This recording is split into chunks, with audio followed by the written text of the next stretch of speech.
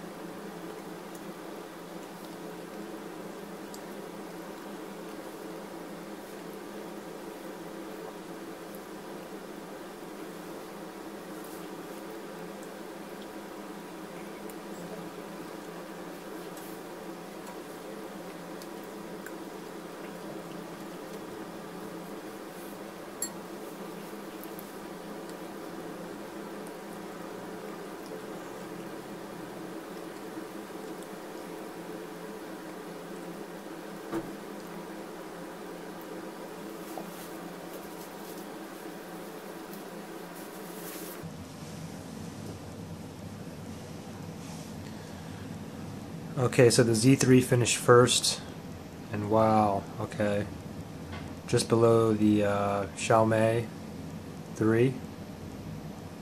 Let's see what the score is. And the S5, I would have thought the S5 would have finished first, but it still beat it. Even though the Z3 finished first, the score is still higher at 41,801.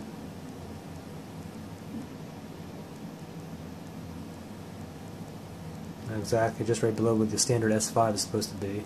Let's see where this uh, Honor 3X ends. But the thing is, too, now don't forget, like this phone here, Z3 is about $650. This one, S5 is about $500, and the Huawei Honor 3X is a little bit older phone. You can get this one for about like $250 now. So let's see the details here. Okay, so yeah, 31,000 versus 38 versus uh, 41. So in overall score, S5 took it, but the Z3 did finish up first. That's it. Thanks.